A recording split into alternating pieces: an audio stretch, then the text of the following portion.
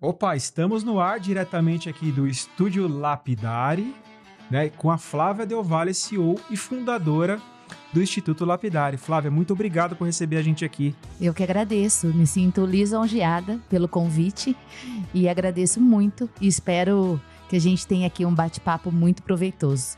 Nossa, a gente está maravilhado aqui com o espaço aqui do Estúdio Lapidari. A gente vai até colocar aqui umas imagens para você conhecer um pouquinho mais sim, aqui do estúdio Lapidari. Ficou perfeito. Ficou, não, ficou muito legal e eu acho muito legal você ter convidado a gente para fazer aqui no estúdio, para a gente mostrar esse espaço tão bacana que in vocês loco. estão em loco. Eu, Flávia, a gente vai falar um pouquinho de liderança Claro. feminina, vai, vamos falar um pouquinho desse espaço que vocês estão aqui trabalhando aqui em São Paulo e Balneário Camboriú. Sim. Mas antes, vamos voltar para o começo da Flávia criança ali. É, que, que a Flávia sonhava quando ela pensava em trabalhar? Como que esses sonhos influenciaram a Flávia de hoje? Essa é uma pergunta muito interessante que está vindo recorrentemente. Então, esses tempos é, que eu estou aqui no lançamento do Lapidário em São Paulo, me veio muito essa memória do que, que a Flávia, quando era criança, tinha como sonho. E eu lembrei que, e isso é muito latente dentro de mim, que desde os três anos eu faço balé clássico e meu grande sonho sempre foi ser bailarina clássica. Eu fiz até os meus 15 anos, então foram aí quase 12 anos de muito empenho, de dedicação, rigor na área é, de balé. Então era isso que eu queria ser. Eu queria ser bailarina clássica. Mas chegando por volta ali dos 15, 16 anos, meu pai me perguntou: "Mas e aí, do que que você vai viver se você seguir essa carreira?" E foi aonde eu tive meu primeiro ponto de inflexão, que veio a me uh, pensar sobre o todo de uma forma mais 360 graus e de uma forma mais racional. Foi aonde eu escolhi ser enfermeira, fazer a faculdade de enfermagem.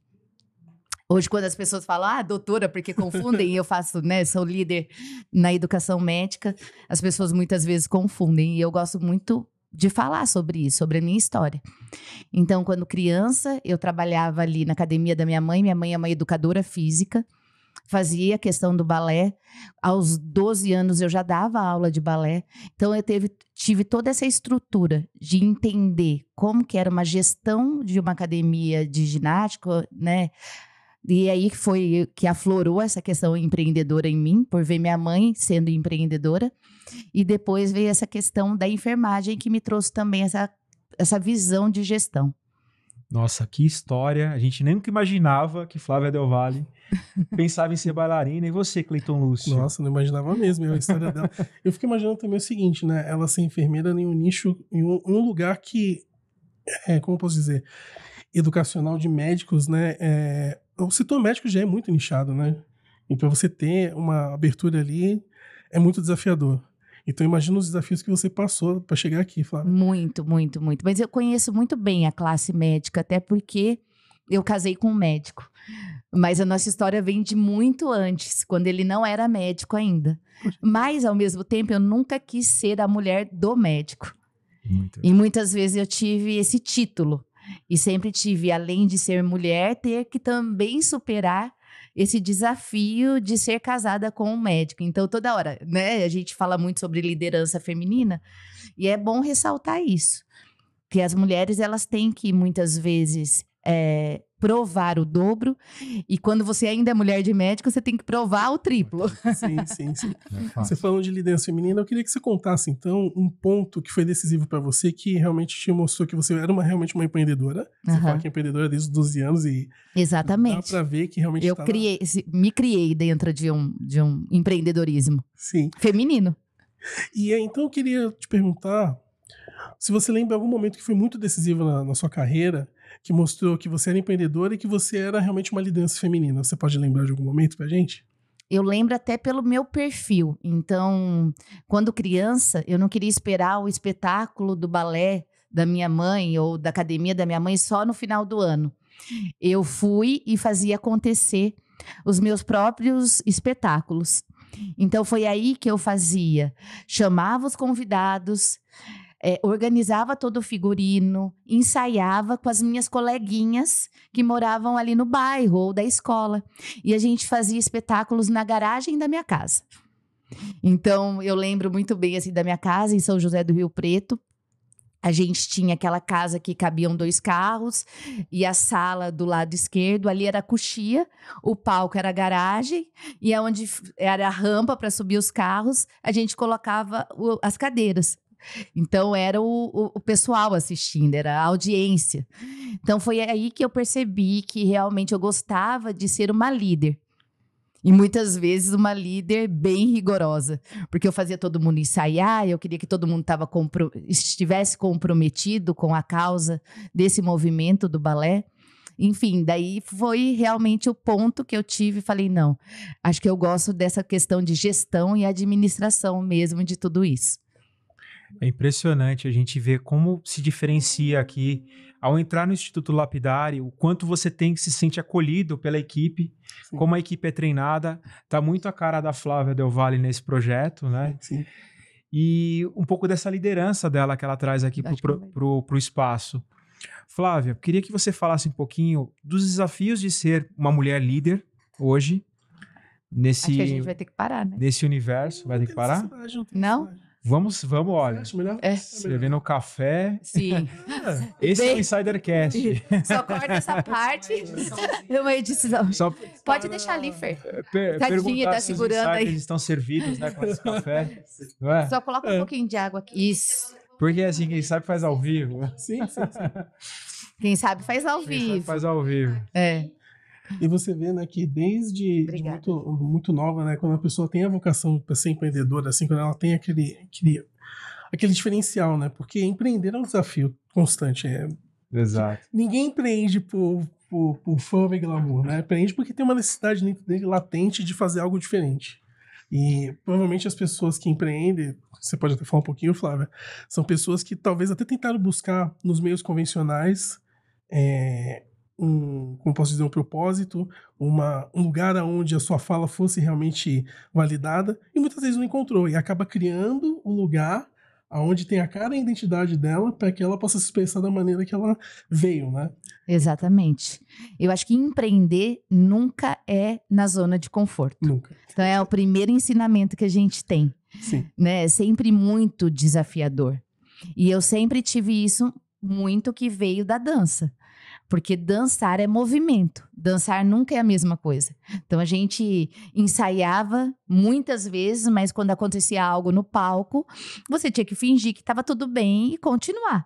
Então empreender é isso. Você às vezes acorda com uma, uma notícia ótima e vai dormir com uma notícia péssima. E você tem que gerenciar tudo, desde pessoas, né, até realmente o questão, questões operacionais muito fortes. Então, ter esse jogo de cintura, entender que na zona de conforto não existe crescimento, entender que nós precisamos mudar e mudar muito rápido.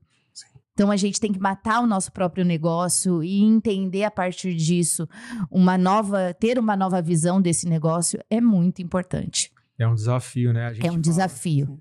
A gente ficou no Insidercast quatro meses sem renda Quatro? Mais de quatro? quatro? Na pandemia? durante quando a gente começou esse projeto. Sabe, a gente começou em novembro de, de 2020. 2020, né? A gente foi ter o nosso primeiro cliente em março. Março. Maio. Foi Maio. Eu tô sendo então bem otimista. Mas enfim, a gente vê quanto que a gente tem que insistir sim, no negócio. Sim. Muito. Mesmo sem até atingir o ponto de equilíbrio que eles falam, tal do break even, é. que falam em inglês, né?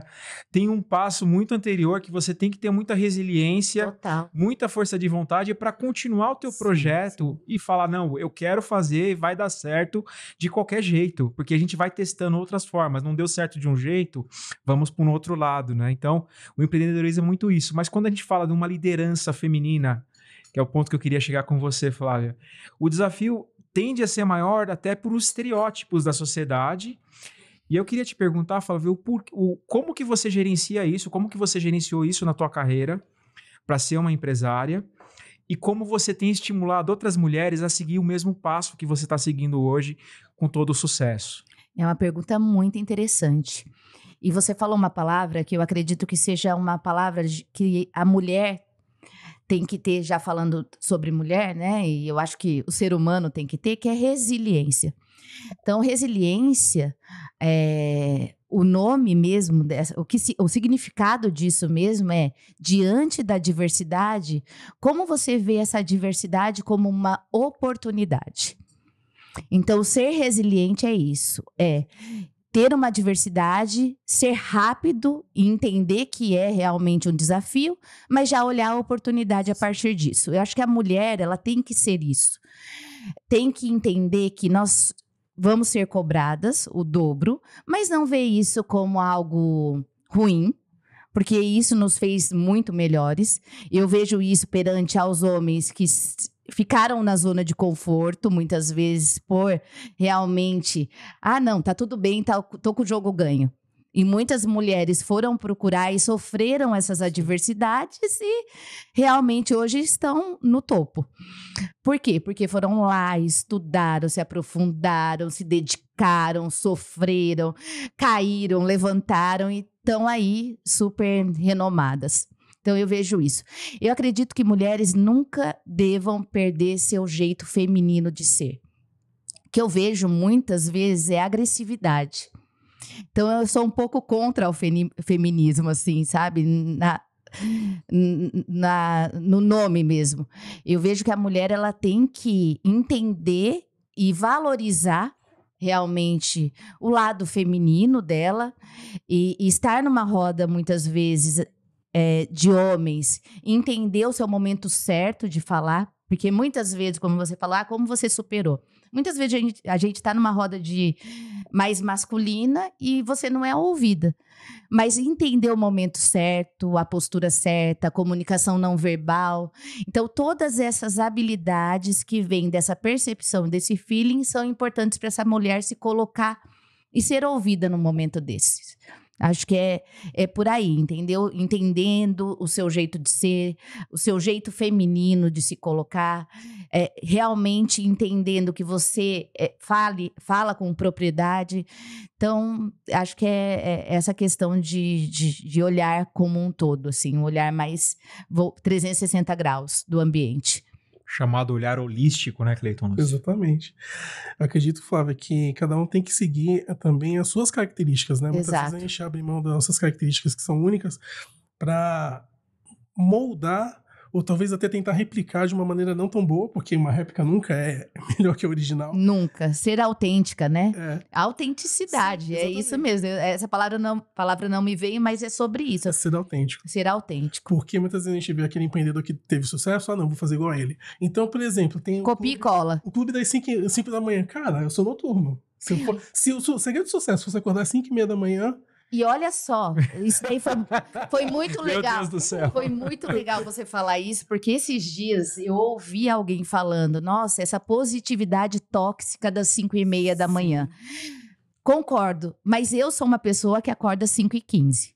Eu sou uma pessoa que acordo 5 e 15 porque eu gosto e nunca tinha pensado que eu poderia gerar no outro uma positividade tóxica. Eu nunca tinha pensado assim. Daí depois eh, eu ouvi essa pessoa falando, eu falei, gente, deve ter muita gente que não gosta de mim. Porque eu sou essa pessoa das 5 e 15 da manhã. Mas por quê? Porque eu tenho um planejamento de agenda e eu sou uma pessoa diurna. Não que eu queira que o outro faça igual, mas para que para mim, é o que resolve. Até porque eu tenho um filho de um ano e meio, um filho de 20. Então, como que eu vou organizar essa minha agenda acordando antes do meu filho de um ano e meio para eu estudar, para eu meditar, para eu fazer exercício e às sete e meia estar preparada como mãe para estar tá, para ele, dedicada a ele. Então, eu fiquei pensando, gente, talvez não caia na cabeça da pessoa também que está fazendo isso das 5 e 15 da manhã, que é uma positividade tóxica. É só o momento realmente que essa, essa pessoa precisa se organizar. E essa mesma pessoa nessa fala falou: Nossa, eu tô acordando às 6 horas da manhã e é outra cidade. São Paulo não tem movimento, Sim. parece que eu tô numa cidade zumbi, ninguém me atrapalha. E é esse, é esse o motivo meu de acordar mais cedo. Porque eu tenho ali duas horas realmente concentradas na Flávia, na minha saúde mental, no meu desenvolvimento. Então, muitas vezes, olha o julgamento né, das pessoas, muitas vezes. Mas daí volto a falar, seja autêntico. Se te faz bem acordar 5 e 15, Perfeito. Mas se te faz bem acordar às nove e dormir meia-noite, porque 11 horas da noite ou duas horas da manhã você está mais produtivo, também é cada um vai entender o que faz sentido, né? Até porque, por exemplo, se a pessoa não gosta, o que, que ela vai fazer às 5 e 15 da manhã? Ela não vai conseguir produzir, ela não vai performar. E aí ela vai ficar frustrada e vai gastar a energia que ela é. teria mais, mais de tarde não vai conseguir fazer. Exatamente. Aquele livro O Milagre da Manhã. É, Mas é, a regra que serve para um, não existe receita de bolo para nada. O que serve para uma pessoa não serve para outra. Nossa, então, tá... se você performa melhor à tarde, trabalhe à tarde. Isso. Se você performa melhor de manhã, e o milagre, o milagre da manhã pode ser milagre da tarde, milagre da noite, pode. fazendo bem para essa pessoa. Porque faz. Você ter algumas atitudes que são hábitos angulares que vão desencadear outros hábitos tão bons quanto aquele que você é, fez, eh, tem como angular na sua vida, tá tudo ok. Sim. Né? E para quem não funciona, também tá tudo ok. Acho que o sentido é ser feliz e ser produtivo, né? Independente do horário que você acorda ou não. Perfeito. O que você faz com as suas horas. Exatamente.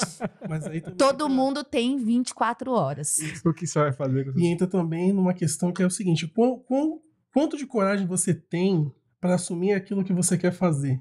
Nessas 24 horas, porque muitas vezes as pessoas fazem obrigadas, porque elas viram realmente a positividade, tóxica, ou leu num livro e elas acham, não, se alguém escreveu um livro, esse livro é um best-seller, aquilo ali tem, tem, tem que estar tá certo. Não é a minha verdade, mas é a verdade de, que já foi validada por um milhão de gente. Exato. E às vezes não é isso, né? Às vezes você está realmente, é, é, como é que é? Recortando a sua individualidade, o que ia te fazer único, no lugar onde você queria empreender. Exato. Para ser uma réplica de algo que, é. que foi é replicado por dezenas de pessoas, milhares de pessoas. Copia e cola. É. Hoje, na medicina, acontece muito isso.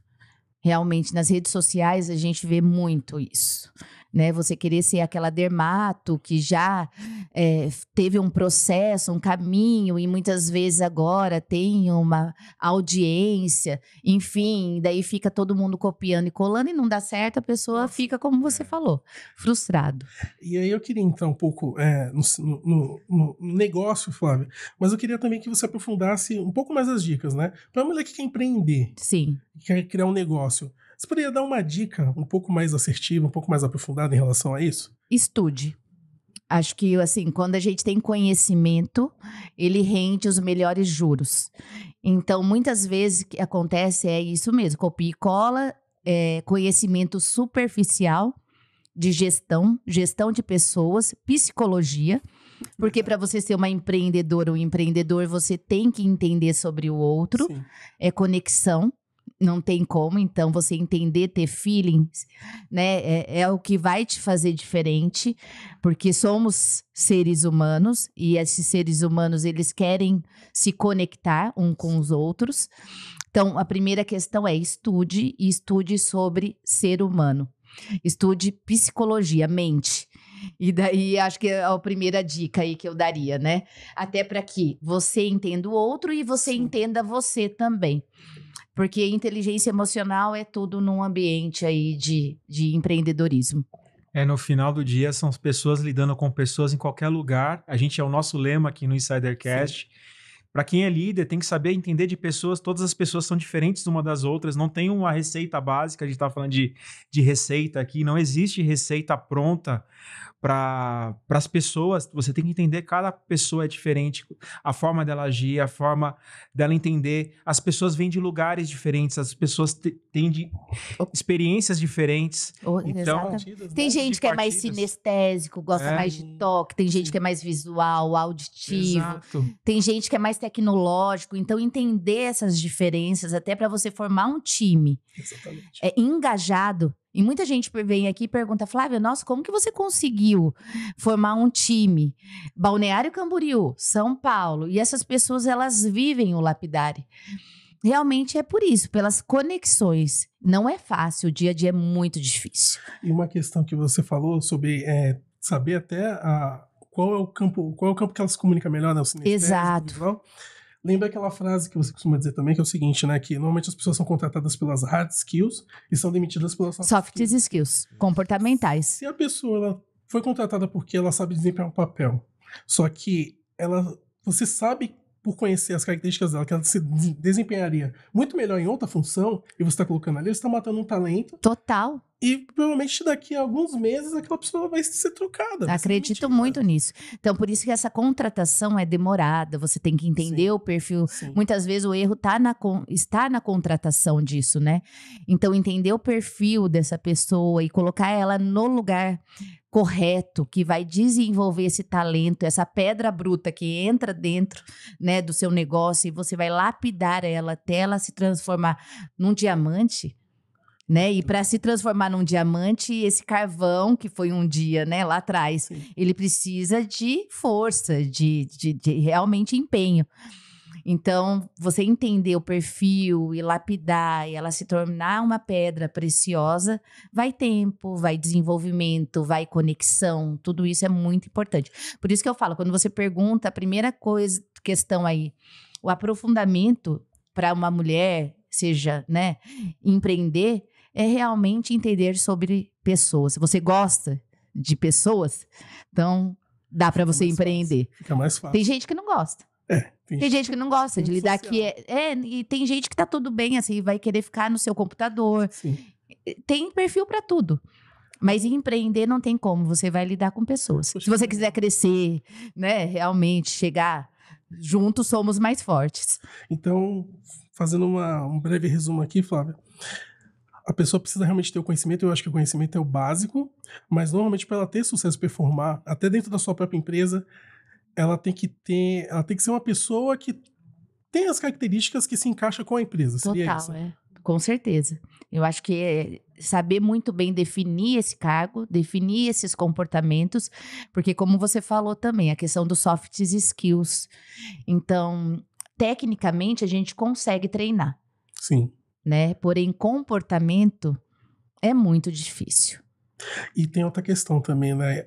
Agora, falando de uma maneira aqui mais direta, né? Mais objetiva, a empresa não é o lugar para educar as pessoas, infelizmente. A gente pode até ajudar um pouco ali, fazer alguns ajustes, mas se a pessoa tem vários comportamentos que não se adequam à empresa, infelizmente a empresa não é responsável por te ajudar a mudar os comportamentos. Você tem que se autodesenvolver, você tem que estudar por conta própria, para que você resolva esses comportamentos que talvez não vão te levar tão longe, né? Tem coisas Exato. que são inegociáveis, né? Exato. Ética. Daí você vai ter que ver os valores, né, da sua Valores. empresa, ver se está conectado com os valores dessa pessoa. Sim. E se lá no fundinho tem um caráter que você realmente fala, nossa, legal, vou trazer porque esse cara vai desenvolver aqui dentro da minha empresa.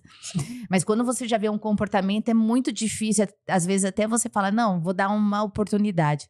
Mas muitas vezes no desenrolar disso, do dia a dia, você vê que talvez não deveria ter dado. Até porque aquele profissional ele contamina a equipe. Total, é. tempo, vai começar Complicado, a isso. E, e aí, então, gente, a dica seria o seguinte, né? É, você, você pode me corrigir depois, sabe? Não. Mas seria assim, ter o conhecimento, eu acho que é fundamental isso para qualquer profissão, mas também saber entender as pessoas e conseguir colocar elas nos papéis onde elas vão se desempenhar melhor. Isso. Porque isso é fundamental para ter uma equipe de talentos, né, Fábio? Exatamente. Eu acho que. E diversificada, diversificada. Diversificada. Sente-se na mesa com pessoas que pensem diferente de vocês, porque vocês chegam num Sim. lugar muito maior. Muito, Perdão. muito-. Não, imagina. Que legal, ela lembrou de É. uma coisa, né? Não, ficou Sim, sim. fantástico. Eu acho que se fosse comparar, é pegar, por exemplo, o jovem hoje está muito antenado ao Tinder. O Tinder seria a empresa para dar um match com o candidato. Então, o Tinder é a cultura da empresa. Se a cultura não está alinhada ao candidato, não adianta você contratar o melhor, o melhor soft Sim, skill, a melhor sim. habilidade comportamental, a melhor habilidade técnica, você não tem sinergia com a cultura da empresa. Sim. Então, você tem que que ter conflito. o grande desafio hoje das empresas é identificar os candidatos que estão alinhados à cultura e ao perfil da empresa. Por isso que, como a Flávia falou, é importante você saber contratar, porque muitas vezes o erro está na contratação E Muito. demora, né? E nunca disse. e perder custa a caro. Assim, uma coisa que eu vou falar que muita gente duvida, logicamente, mas é uma, um, um outro ponto também é ter a intuição. Estar aberto a realmente essa intuição que realmente faz toda a diferença. Na minha vida sempre fez muita diferença. Logicamente, a gente estuda sobre esse candidato, a gente entende, a gente tem várias entrevistas, mas a intuição que você sente daquilo também é muito importante. Exatamente. Falando em lapidação, que você fala muito, Flávia, até o nome da, do instituto aqui, Lapidari, queria saber o que, que te motivou a criar o Instituto Lapidari da onde que veio esse sonho? Por quê? Qual foi a tua motivação que, que fez você criar um instituto, tanto aqui em São Paulo quanto em Balneário Camboriú? Sim. É, e a palavra motivação vem de motivo para ação, né? Então, muito legal isso que você fala. Mas vem lá de trás, assim, Felipe. É, eu já, como, como eu falei, eu sou enfermeira de formação, mas logo que eu fiz enfermagem, eu já sabia já sabia que eu não ia ser uma enfermeira assistencial de hospital. Não era minha praia, não queria, enfim. Só que eu, é, a gente morava aqui em São Paulo e no primeiro ano pós-formada eu trabalhei no Hospital do Coração em neonatologia, que era o que a minha escolha. Eu queria trabalhar com bebês na área de genética, enfim. E fui para o Hospital do Coração. Mas acabando ali o primeiro ano, eu já estava bem satisfeita, já tinha sido sondada para crescer, para ir para um outro hospital, muito Einstein, enfim. Eu pensei bem, falei, nossa, será que eu vou ficar aqui para o resto da minha vida em São Paulo? Eu já estava com um bebê com, de um ano e meio, já tinha tido filhos, e eu falei para o meu marido, médico, tá, estava como um médico da intermédica, já passando visita, enfim, tendo. A gente já estava vivendo uma vida muito workaholic. De sair ali seis da manhã, voltar oito horas da noite, sem muita muita planejamento de carreira. E eu, vinte e poucos anos ali, eu falei, meu Deus, será que eu vou viver aqui em São Paulo? Eu sou de São Paulo, mas talvez eu tenha que conhecer um pouquinho do, do Brasil, do mundo. Enfim, daí eu falei para ele: olha, vamos mudar daqui, vamos embora. A gente tá com um bebê pequeno. Se a gente crescer aqui, a gente não vai querer mais ir embora. Enfim, vamos dar, pensar diferente. E eu tive sempre um mentor na minha vida que foi meu avô. E meu avô morava em São Paulo e na praia, e eu vivia muito com ele na praia. Muito, muito. Eu ia quase toda, todo mês, eu ia passar um final de semana com ele, eu e ele. Eu fazia os macarrão, macarrão para ele, assim, a gente se divertia muito. E, e, eu sempre gostei muito da praia, Vila. Vila Caiçara. E a gente ficava muito ali. Eu falei, vamos pra praia. Mas aí ele falou, que praia que você quer morar? A gente tá com um filho pequeno, como que a gente vai fazer? Eu falei, Floripa. Saiu da minha cabeça, eu nunca tinha ido para Floripa, nada. Ele foi, estudou sobre Floripa, a gente também, eu estudei bastante sobre o mercado de lá, a gente viu que o mercado tá, já estava saturado para enfermeira e para médico. E surgiu Itapema, que é uma cidade entre Floripa e Balneário Camboriú. E foi lá que a gente recebeu uma proposta para eu cuidar da, da área de enfermagem do município e ele ser plantonista de hospital. Só que a gente aceitou, pediu demissão, enfim, tudo isso. Quando a gente estava vindo, indo para Santa Catarina, houve uma mudança na política e a gente se viu sem emprego. Nossa. A gente já estava com tudo pronto. Desempregados, total. Os dois. Os dois. Meu os dois. Vinte e poucos anos. Daí eu falei: não, a gente já pediu demissão aqui em São Paulo. Era 2 de dezembro, a gente ia no show do Pierre Jam, que a gente ama. No outro dia já estava tudo pronto, a mudança, com um bebezinho de um ano e meio Meu ali. Nossa, e um ano e meio, dois anos. Da água, da água pro vinho, é, nada, né? E, e com, estável, a gente poderia ficar aqui. Daí vem também essa minha visão empreendedora de inovação, de mudança, de sair da zona de conforto, tudo isso, que hoje eu enxergo isso, mas na época não enxergava. E eu falei: não, a gente vai. Liga em qualquer hospital lá da região, era um sábado à noite, e se oferece. Você é médico, emprego não vai faltar. Né? E ele ligou no sábado à noite, era 9 horas da noite, um plantonista atendeu. Ele era filho médico cirurgião, filho de um do, do de um cara que era secretário da saúde Olha só, nove horas da noite num sábado. Não, eu sou é, filho do secretário da saúde, vem para cá que a gente tá precisando de médico cirurgião. Caramba. Olha aí. Intuição. Sim, sim. Foi o momento certo, na hora certa. E assim foi. A gente foi para Santa Catarina e lá a gente chegou em Itapema. Depois eu fui como fiquei como enfermeira durante um tempo, cuidando da área de diabetes e hipertensão do município. A gente viu uma oportunidade muito grande. Lá tinha 30 mil habitantes na época e só tinha médicos é, que atendiam tudo. Então, desde uma dor de cabeça até uma unha encravada. Isso. Tudo, ele atendia tudo, né? Falei, Gustavo, a gente precisa montar uma clínica de especialidades médicas. E a gente conheceu pessoas no nosso networking. Tinha uma pessoa que já tinha um prédio lá com tudo montado e a gente levou essa ideia para ele. Levamos essa ideia, depois de três, quatro meses, estava criado, né? A primeira clínica de especialidades médicas da região. Nossa. Bem legal isso, tinha tudo ali, né? Tinha desde radiologista até cirurgião cardíaco. Então a gente fez algo muito legal para a cidade, como para a sociedade ali. Sim. Mas ao mesmo tempo, pessoas vindo, como minha amiga fala sempre, de Nova York para São Paulo, para Itapema, a gente levou muita pedrada, né? É muita gente olhando, é, os médicos muito tradicionais na época, que atendiam tudo, sempre, né, querendo realmente minar aquele momento, enfim. Mas tudo deu certo, a gente passou sete anos nessa clínica, em Ita- Itapema mesmo, e depois a gente veio entrando na educação médica. Por quê? Outro ponto de inflexão. A gente estava vendo que estava se formando muitos médicos, 25 mil médicos ano, e não tinha, já não tinha naquela época, residência médica para todo mundo. E foi aí que a gente, estudando muito sobre educação, eu estudando muito sobre educação também, a gente falou: não, vamos. A, a gente precisa abrir um instituto, uma empresa, algo voltado para médicos.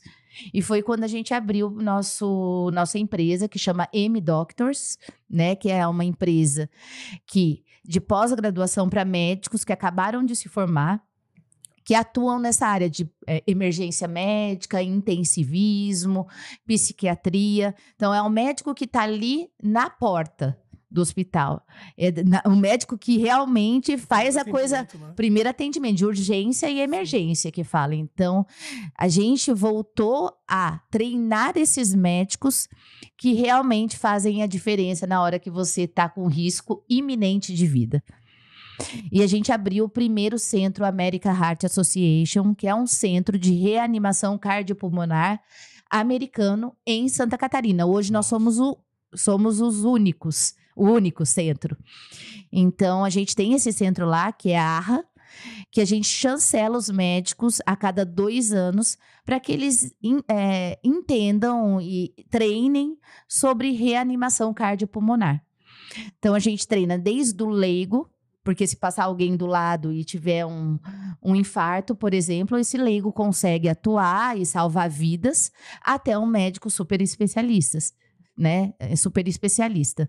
Então a gente tem essa esse esse legado também tão importante aí de treinar para salvar vidas e tá no nosso propósito realmente, que é elevar o nível da educação médica para que a gente salve vidas. Então a gente tem essa empresa até hoje. E a partir dessa empresa, que foi a, a mãe, que surgiu o Lapidari. Então, eu contei toda essa história para entender que existe né, um- uma grande estrutura muito sólida de empreendedorismo, desde a clínica de especialidade médicas, de entender esse público. Depois, um- uma empresa de educação médica, e nesse meio tempo, um dos nossos sócios, que é presidente da Uniavan, que é uma- um centro universitário lá de Santa Catarina, nós temos tudo aqui nesse prédio. A gente tem um cadáver lab, a gente tem o centro ARRA, a gente tem auditórios, a gente tem simulação realística. Por que, que a gente não abre algo voltado à estética? Numa conversa assim como a gente está tendo agora. Mas daí veio ele como empreendedor, empresário muito forte da área de saúde, deu a ideia para que fosse uma estética premium, mas voltada para todos os profissionais da área de saúde, que é uma grande tendência e ele tem uma visão muito legal, muito audaciosa disso tudo. E eu falei: olha, eu, eu adoro desafio, eu vou pensar e volto amanhã com uma resposta para ser sócia desse, dessa ideia. Ele me mostrou a cara, aquela, aquele logo do Lapidari, que é uma face muito bonita, cheia de pedras, enfim. Eu fui para casa, fiquei pensando, pensando, pensando. No outro dia eu voltei e falei para ele: olha, eu aceito esse desafio. Eu fico lisonjeada, porque vai ser um desafio enorme entrar numa área que ainda a gente não tem tanto conhecimento, que é estética. Mas eu vou te fazer um pedido. E vou te dar uma ideia. Vamos nichar para o público médico. Porque eu, Flávia, sou uma entusiasta na área médica. Ele ficou muito apreensivo na hora e ficou muito. Du... Impactado, talvez, ou. Um pouco preocupado. Um também. pouco preocupado também. desafio, né? Falou, só médico? Como assim? Isso. Mas aí tem um público gigantesco É. querendo entrar nessa área, E um já biomédico, conhece, né? farmacêutico. Ele conhecia muito bem esse outro público, né? Eu conhecia sempre, eu fui muito nichada para o médico. Eu vim só criando para médico. Desde a clínica de especialidades médicas, a M Doctors, só médico. Por isso que eu tive essa ideia e por ser casada com médico, conviver muito com médico, ser enfermeira, eu acho que assim é um estudo tão aprofundado que eles fazem, são seis anos, depois quatro anos de residência. Falei, gente, assim, ó, eu conheço o público médico. Vamos realmente é, focar nesse público. Ele falou, era setembro de 2019, por isso que eu, quando vocês falaram lá, 2020, É. foi mais ou menos essa época. É, ele falou: ok, te dou seis meses. Em setembro de 2019, a gente não tinha nada, era concreto total no andar do lapidário em Balneário Camboriú. Certo. Dezembro, a gente inaugurou, de 2019, com uma baita inauguração. Vieram referências No meio da pandemia. não, é antes, antes, da, pandemia, de 2019. Vieram referências do Brasil inteiro pelo meu networking de médicos, então a gente teve ali grandes referências da área de dermatologia, de cirurgia plástica. Foi incrível, sem convidados, foi um boom no Brasil. A gente estando em Balneário Camboriú, porque a gente também queria fazer em Balneário pela qualidade de vida que a gente poderia gerar para esse médico que estudar, poderia levar a família, ir para o Beto Carreiro, bombinhas, enfim. E é isso que a gente prega com o Lapidar em Balneário Camboriú, essa junção da qualidade de vida com o ensino. Inauguramos em dezembro de 2019, mas em 2020 veio a pandemia. Em março de 2020. E ele tinha me dado aqueles seis meses, lembra? É, e que porrada, hein? E que porrada. e a gente já ia começar com nossos presenciais, porque estética médica, ele precisa de fazer, precisa fazer hands-ons Presencial. presencial, é algo presencial. O médico tinha muita, mas muita objeção em relação a ensino remoto. Só que eu tinha passado um tempo no Vale do Silício, em Palo Alto, eu tinha visto realmente as health techs lá, eu já tinha essa visão de é, ensino remoto, assíncrono, síncrono. E nesse momento que veio a pandemia, a gente conseguiu pivotar de forma rápida. Eu sempre trabalhei muito com a visão de startup. Pivotamos isso de uma forma rápida e nesse momento a gente fez nosso primeiro webinário e passaram-se aí 20 mil médicos de 12 diferentes nacionalidades. 20 mil. Aí a gente criou o nosso primeiro case, que ficou muito significativo, porque no momento que teve a pandemia, a gente falou: não, nós precisamos fazer algo. E eu tinha nessa época uma parceira que começou comigo, eu tenho enorme gratidão, que foi a Lilian. Já trabalhava com TI, tecnologia, a gente pivotou, fez. A gente deu muito eh, conteúdo gratuito, muito, muito. A gente foi, fomos os primeiros a juntar médicos, referências na área e trouxemos em muitas masterclass, é, masterclasses? Sim, sim. Isso, É. tá certo. É, para fazer isso no, no dia a dia ali e na época de pandemia. Depois ficou um pouquinho mais, muita gente fazendo, mas a gente, nós fomos os primeiros e criamos esse case que eu falei: 20 mil médicos de 12 diferentes nacionalidades. Nossa, criou uma base de, de uma médicos, base né? muito forte. Foi no momento É uma- perfeito. Foi crucial, né? E é essa comunidade, né, de pertencimento dos médicos tá- estarem passando por um momento muito complicado, que é a pandemia, e com a invasão de muitos não médicos na área. Então, nós, o Instituto Lapidari, ele realmente defende essa causa do médico fazer o procedimento, do médico atender essas complicações, do médico estar muito seguro e muito embasado em ciência, anatomia, que é nosso core. Então, tudo isso eleva muito o nível de educação do médico e a gente preza muito por isso e a gente realmente segurou na mão do médico e estamos aí nesse movimento há quatro anos. Que impressionante. Ela podia vender, ela podia chorar ou vender lenço. Ela preferiu vender lenço. É, Ah, mas já dá pra perceber que ela tem uma característica muito, muito notável, que é a seguinte: primeiro que ela é desbravadora, né? Todo lugar que ela vai, mesmo que aconteça alguma coisa, ela dá um jeito de, de reverter aquela situação. E o empreendedor tem que ser assim, não, não tem como, porque sempre vai ter porrada, sempre vai ter pancada. acho que é todo dia, né? Todo dia, todo dia. É porrada todo Todo dia. dia. E o Rock Balboa que vai apanhando, E depois dá um foi, soco. e foi num momento muito propício na pandemia, porque todos estavam em casa e a maioria das Isso. pessoas estavam ávidas ao quê? A consumir chorar. um conteúdo. É isso. não, a- a chorar primeiro. É. Meu Deus, será que o mundo vai acabar? E e ficou nesse pensamento. Mas depois as pessoas ficaram ávidas a consumir conteúdo de qualidade. Muito. E você, eu, você Foi, é. contando a estratégia assim, eu, eu, como sou, sou de marketing, já, hum, isso daí, ó, é, webinar, masterclass, área de membros, comunidade. Comunidade, a gente, pertencimento. estudou. Acho que todo mundo Sim, mais sim. estudou no pandemia, porque você tinha mais tempo. Antes eu já tinha lançado um curso do meu marido, eu mesmo que fiz land page, eu já fiz. Caramba. tu- Eu já passei por todas essas áreas. O que eu mais gosto de estudar é marketing. É legal. Porque marketing é psicologia. Total. Então, assim, é aquilo que eu te falei, né, no começo ali. Se a gente não estuda o ser humano, a gente não faz marketing, a gente não faz, não é empreendedor, então isso é muito importante. E muitas vezes as pessoas me, e essa é uma questão que eu superei também, de superação, uma história que vocês vêm perguntando, ah, como você superou ser mulher? Porque quando você pensa numa bailarina clássica, você pensa numa menina delicada, frágil. Então você já quebra padrão aí. Porque não é nada disso ser bailarina clássica. Tem muita É dor. dor.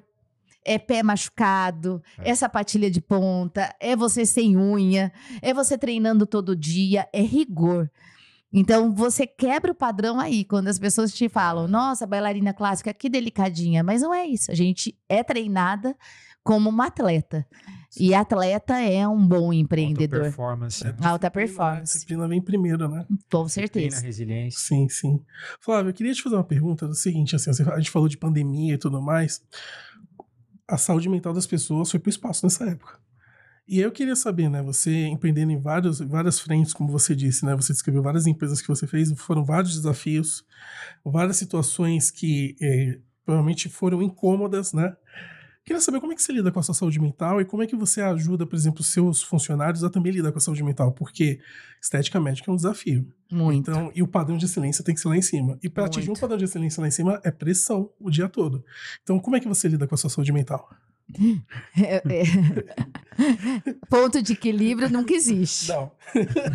Não. Mas eu sou libriana, então eu sempre procuro. Então, uma libriana sempre olha detalhes e ponto de equilíbrio. Então, a gente sofre. Libriana, ainda bem que eu tenho minha, meu, meu ascendente é Ares. Então, me traz um pouquinho de uma personalidade mais Proativo. assertiva, enfim, né? Mas eu sou uma pessoa que o exercício físico é tudo pra mim, pra minha saúde mental, então é inegociável, como você falou, tem algumas coisas que são inegociáveis.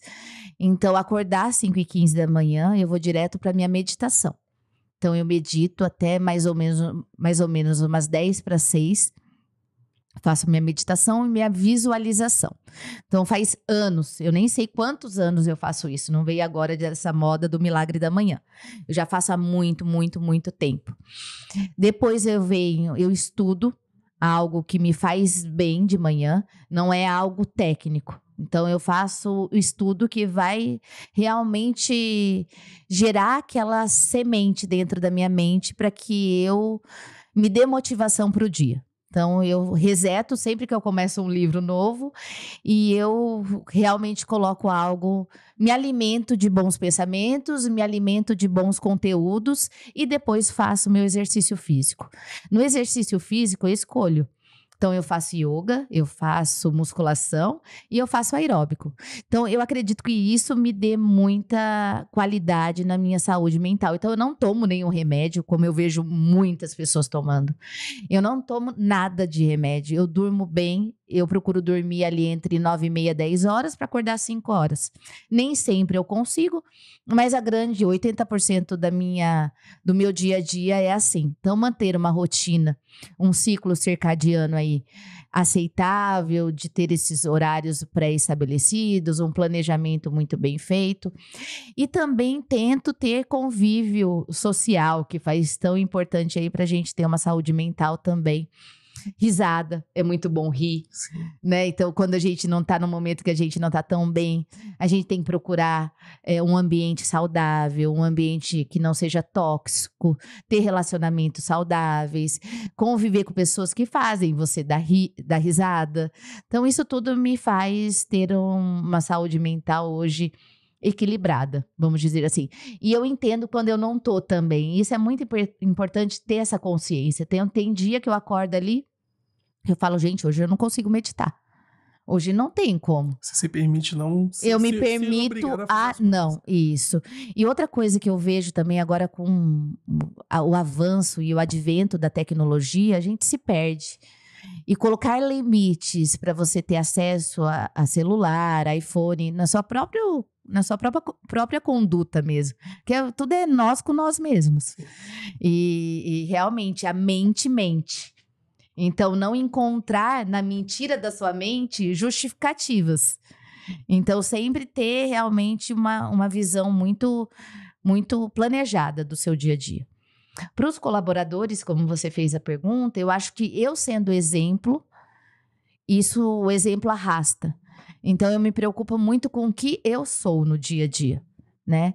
E tudo eu divido com eles. Então, eu gosto sempre de dividir no nosso grupo de estudos é, livros. A gente faz também muitas vezes hot cities disso, né? Queria fazer muito mais. A gente já fez yoga, eu já levei há um tempo atrás eles para fazerem yoga também. Mas realmente, hoje o que a gente faz é eu tento que o meu exemplo arraste mas precisamos se dedicar mais ao time também para que ainda não teve esse tempo com essa expansão tão rápida do lapidar em quatro anos aí esse tempo dedicado à saúde mental a gente precisa realmente melhorar. É, liderança é puramente exemplo, não tem é. outra forma de você liderar sem ser o exemplo para sua equipe. Sim. O líder que não inspira, o líder que não faz o além ali, além do para mostrar o que ele é realmente como pessoa, que entenda de pessoas, né, como a gente tem falado aqui nesse episódio, não vai conseguir liderar e manejar o time. Se ele não, se as pessoas não verem ele como uma, um exemplo a ser seguido, dificilmente a pessoa vai conseguir a equipe. E muito mais do que isso, a gente precisa liderar não só no trabalho, mas liderar em casa. E essa, Exato. essa pergunta que eu queria fazer para você, Flávia. Como equilibrar todos os pratinhos? Os pratinhos. Porque a gente tem vários pratinhos. Você já falou da, da, atividade física, da questão da saúde mental. Mas como você, mãe de dois filhos, um filho pequeno, né? E família, afazeres de casa, os negócios. Mulher. Como que você, mulher, como que você equilibra? Como que você faz para equilibrar todos esses pratos? Às vezes algum pratinho cai. né? Realmente isso faz parte da vida, assim, ninguém... Eu falo pro meu marido, assim, que às vezes ele me fala assim, não, você vai conseguir, você é guerreira. Não, eu não sou. Né, isso é pressão. Ele achar que eu tô 100% sempre preparada. Sim, sim. Eu falo, não, desiste, não, eu não sou essa mulher maravilha. E é ponto, e algum pratinho vai vai cair, vai quebrar e você pode remendar, não tem problema algum. Sempre a gente pode dar um passinho para trás, isso tá tudo bem. Eu acho que essa pressão com a mulher também é muito muito desgastante. Então, entender isso também me faz às vezes pensar, não, agora eu não estou dando tanta atenção para o meu marido, é um momento. Agora também eu não estou dando tanta atenção para o meu filho mais velho, mas é uma fase também. Então, olhar tudo com muita uh, carinho para você mesmo é importante também. E entender que tempo de qualidade, parece um clichê, mas é a pura verdade. Tempo de qualidade é muito melhor que tempo em quantidade. Então, muitas vezes eu tô lá dando banho no meu bebê, enfim, eu tô vendo que a gente tá olho no olho, a gente tá desenvolvendo, eu dou um abraço nele, ele pega o coraçãozinho, começa a me olhar. Eu falo, gente, a gente tá criando memórias aqui. São memórias afetivas que ele nunca vai esquecer. Ele tá vendo a mãe dele caminhando, sendo aí uma pessoa que tá ah, olhando para o futuro, né? E deixando um legado para a sociedade. Eu acho que é isso que mais importa, assim, que me faz continuar. Que é elevar esse nível da educação do médico, elevar o nível da educação do paciente também, salvar vidas. Isso que me faz ter alegria todos os dias, para muitas vezes não passar um final de semana com meu filho, muitas vezes não ter um momento de jantar com meu marido, mas que eu vou ter lá para frente. Então tudo é planejamento, eu acho que tudo é agenda, né? A gente entender que nós temos que fazer uma agenda muito bem feita e que muitas vezes o, os pratinhos vão cair e você recupera esses pratinhos e tudo é fase. Acho que esse, esse é o caminho aí. Achei legal. Pensando em lapidar, Flávio, eu queria saber o seguinte, né? O que, que você vê para o futuro da empresa, né? O que, que você gostaria de deixar, é, mais especificamente falando da Lapidari, como legado para a área médica? É isso que eu, que eu penso, assim, sabe? Que eu falei aqui, que é realmente quando eu vejo um médico e quando ele faz um depoimento e as pessoas chegam a chorar, é, falando desse desenvolvimento do médico que entrou aqui do ponto A e foi para o ponto B assim, é essa a, a grande, o grande movimento que a gente quer gerar na educação.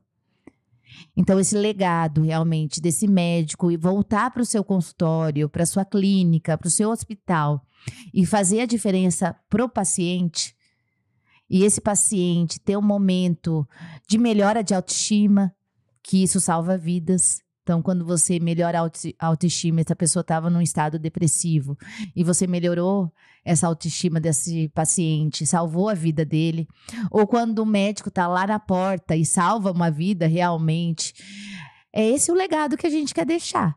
Então, o Lapidari, ele, ele quer crescer realmente, e nós estamos aí no, no movimento de crescimento muito forte, mas a gente quer impactar o maior número de médicos realmente, para que eles entendam toda essa visão do, da hard skills, que hoje é um pré-requisito, mas de soft skills também. Então, com essa questão da inteligência artificial é, entrando tão grandemente aí, o médico vai ter mais tempo para ser humano, para a humanização desse atendimento. Então, aqui no Lapidário, a gente não pensa só na parte técnica, a gente pensa também nessa parte comportamental do médico, dessa humanização do atendimento. Então, é isso mais que a gente quer gerar, esse movimento fortalecido, esses médicos bem informados. A gente vai ter aí, até 2030, mais de um milhão de médicos formados. Então, é, como vai, como esses médicos vão se formar? E como eles vão estar após essa formação? E aí é que entra lapidar e lapidando todo esse conhecimento, trazendo eles cada vez mais com essa visão de sentar na frente do paciente, de entender esse, esse ser humano que está ali. Olhar no olho, chamar pelo nome, entender o caso, não ver ele só como uma parte, mas ver ele como um todo. É, exatamente, se discute muito a medicina mais humana hoje, né? É. Que não seja a medicina fast food, que você chega, atende o paciente em um minuto e tá ok, tá certo, passei o remédio, mas a, a medicina integrativa, né? Uma visão mais holística pelo, pelo paciente. A medicina do corpo todo. Do corpo todo. É, maravilhoso. Flávio, contando um pouquinho sobre essa questão de desafios, né? A gente falou muito da sua história aqui nesse podcast, está já caminhando para o final. Mas eu queria que você falasse um pouquinho quais foram os seus maiores desafios pessoais e profissionais ao longo dessa trajetória. É, a gente sempre tem muitos desafios. Acho que ser mãe nesses 20 anos aí foi um desafio de equilibrar esses pratinhos, mas é um É um desafio muito gostoso, que a gente cresce muito, mas a gente também tivemos alguns desafios aí de as pessoas não entenderem inovação, o que, que a gente estava fazendo no momento que estávamos fazendo. Então a gente sofreu muito com retaliação, retaliações, é, acho que até um, um, um, pouco de inveja, de você realmente. É, o mundo hoje, eu acho que o mundo ele, ele, é, ele é complexo, ser, humano, ser humanos são complexos. Então, quando você está num crescimento, as pessoas entendem muitas vezes o lado. É, não dão o valor necessário. Eu acho que esse é o maior desafio, assim, sabe? Sempre era, ah, a Flávia consegue porque ela tem esses benefícios, não por si. Por, por, muito conhecimento, por muito aprofundamento, por realmente querer gerar um, um valor para o mundo. Então, acredito que foram esses desafios, assim, eu, eu nem gosto muito de, nem de falar muito sobre isso, porque parece que eu tô, eu não gosto nunca de reclamar sobre Nada, assim. Então, é até um pouco difícil essa pergunta para mim, porque eu não fico me lamentando muito. Você sempre viu oportunidade. Eu sempre vi. É, é muito difícil para mim. E a gente teve muitos desafios, mas isso ficou lá atrás. Eu não. Eu até esqueço. Entende? Isso é. Então, isso é, é, é uma, uma, uma, É bem difícil essa pergunta para mim, sabe? Até porque eu não, não, não jogo nessa energia. Vamos dizer assim, eu jogo na energia do que vai vir para frente, do meu presente e do que, que vai vir para frente. Então, o que passou, passou. Eu acho que foram desafios que fizeram a Flávia o que ela é hoje, né? Hoje eu tenho grandes desafios aí, que é gerar realmente, além de tudo, é uma empresa, então a gente gera equity, a gente tem que ter lucro, então é um grande desafio. A gente chegou em São Paulo, são altas metas. Então, é um desafio que eu vejo como uma oportunidade de crescimento gigantesca é, e me faz acordar todo dia e ter a motivação, o motivo para ação para fazer acontecer todos os dias. Então, isso me motiva, eu prefiro olhar esses desafios, o que serão daqui para frente, do que ficar olhando, olhando para trás, assim. Acho que... Não sei se eu expliquei muito bem isso, mas. Total, explicou muito bem. Acho que foi o perfil. Eu acho, eu acho que é muito único a, a, visão dela de mundo pelo seguinte, né? É, dá pra perceber que ela não para. É uma coisa assim, tipo, ela. Porque durante sua história deu pra ver que várias vezes você poderia simplesmente parar e falar: não, tá ok aqui. Aqui tá ok. Eu tô num bom emprego, meu marido também tá. A gente tá numa cidade prazerosa, por que não parar aqui? Não, vamos empreender. Aí abre uma empresa médica por que não parar aqui? Isso. Vai seguir em frente. Abre balneário e Camboriú. Não, por que parar aqui? O que, que será que vem próximo? o que, que será que vem próximo aí? É, você, você, você é inquieta, você vai abrir, você vai Inquietíssima. Minha mente é inquieta e a gente sempre está pensando em coisas do ecossistema. Então, aquela pergunta que você me fez é muito importante. A gente está querendo, é, a gente já gera uma, um ecossistema muito forte do Lapidari, né? E, e todo, todo, todo o que permeia aí, esse, no, na verdade, o ecossistema da educação médica. Então, o que vem depois? Sempre eu estou me perguntando isso também. Isso é muito, é muito bom para a mente, né? Sim. Infelizmente, muitas, poucas pessoas pensam assim, né? As pessoas se apegam mais aos problemas e acabam ficando abraçados a eles, né? Poxa, foi muito legal esse bate-papo. Eu, eu tô muito feliz em poder é, conversar com pessoas assim, porque são é, pessoas inspiradoras, né, Fábio? Com certeza, pessoas que inspiram, que no, não no primeiro tombo vai chorar, vai levantar e aprendi, não vou pisar mais naquele buraco e vou criar uma outra oportunidade. Eu acho que se fosse resumir esse bate-papo com a Flávia, foi esse. Foi sensacional. Flávia, antes de ir embora, eu queria que você deixasse um recado final para a audiência olhando para cá. Eu agradeço muito, viu, o convite de vocês. Eu achei super interessante a nossa conversa, foi maravilhoso. E quem quiser acompanhar é, nas redes sociais, o meu arroba é Flávia Adel Vale. Del Vale igual suco, Del Vale com dois L's, o Vale. E o arroba mdoctors, E-M-E Doctors, e o arroba Instituto Lapidari. Vai ser um prazer recebê-los nas nossas redes sociais e aqui no Lapidari eu faço um convite para vocês virem visitar também esse nosso espaço maravilhoso, tanto em Balneário Camboriú quanto em São Paulo. Muito obrigado, Fábio. Obrigada, viu? Muito obrigada. Quer deixar um recado final, Fábio? Poxa, eu acho que esse episódio me deixou um grande recado, que a gente precisa servir antes de ser servido. E atenção aos detalhes, Exato. atenção a, a todas as coisas que a gente for fazer, nos mínimos detalhes.